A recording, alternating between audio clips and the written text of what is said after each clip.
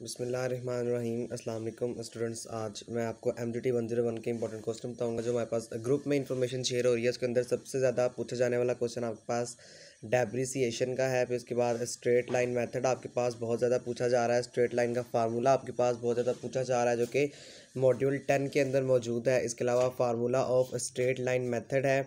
फिर accumulated depreciation आपके पास पूछा जा रहा है। फिर फाइनल अकाउंट आपके पास आ रही हैं। एंट्रीज़ बहुत ज़्यादा पूछी जा रही हैं। इसके अलावा कंट्रोल अकाउंट्स क्या होता है? कंट्रोल अकाउंट के अंदर आप एंट्रीज को किस तरह लिखते हैं, वो पूछा जा रहा है। बैलेंस शीट और और ट्रायल बैलेंस के अंदर जो एंट्रीज़ हैं, वो बहुत ज़्यादा आपसे पूछी जा रही है। फिर कैश इनफ्लो के बारे में क्या कैश इनफ्लो क्या होता है, इसके बारे में बहुत ज़्यादा जो है, वो क्वेश्चन आ रहे हैं। एम बहुत ज़्यादा इसके बारे में आ रहे हैं। फिर उसके अलावा आपके पास टॉपिक्स वही दोबारा रिपीटेड है कि कैश इनफ्लो दोबारा क्या होता है? हर हर ग्रुप में हमारे पास जो इन्फॉर्मेशन आ रही है, वो यही पूछी जा रही है बार बार कि डेप्रिसिएशन क्या होता है स्ट्रेट लाइन मेथड क्या होता है, आपके पास अकोमुलेटेड डेप्रिसिएशन क्या है बैलेंस शीट क्या है ट्रायल बैलेंस क्या है आपके पास। फिर उसके बाद क्वेश्चन दूसरे देखें, वो कह रहे हैं आइडेंटिफाई करें आप कैश इनफ्लो को कैश आउटफ्लो को, और from the given in the table आपके पास एक टेबल दिया जाता है। इस टेबल की मदद से आपने कैश को इनफ्लो करना होता है, और आपने कैश को क्या करना है आउटफ्लो करना है, वो आप रिकॉग्नाइज करेंगे किस तरह करना है।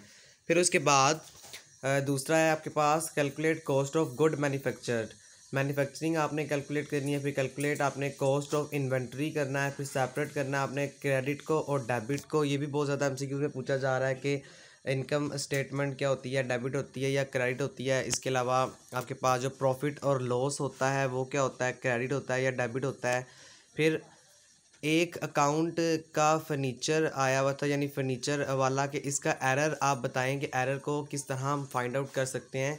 फिर उसके अलावा रेवलेशन ऑफ़ एसेट्स क्या होते हैं, जिससे मोस्टली एम आपके पास आए हुए हैं रेवलेशन ऑफ़ लाइबिलिटीज़ क्या होती हैं, वो भी आपके पास मोस्टली एम पूछ रहा है।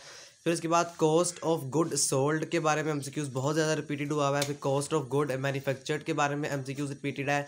रेक्टिफिकेशन एरर क्या होता है? इसके बारे में एमसीक्यूज आपके पास आया हुआ है और इस एरर को हम लोग किस तरह फाइंड करते हैं? कितनी टाइप्स हैं एरर्स की? वो दो टाइप्स हैं आपके पास। फिर प्रॉफिट डिस्ट्रीब्यूशन स्टेटमेंट क्या होती है? फिर बेसिस कॉन्सेप्ट ऑफ़ डेबिट और क्रेडिट क्या है? आप इसे किस तरह सिंप्लीफाई कर सकते हैं? किस तरह आप एरर्स को फाइंड कर सकते हैं? फिर एवरेज मेथड गुड क्या है आपके पास? और इसको आप किस तरह से आइडेंटिफाई कर सकते हैं अपनी प्रोग्राम्स के अंदर, अपनी कैश इनफ्लो कैश आउटफ्लो के अंदर, अपनी अकाउंटिंग पीरियड के अंदर।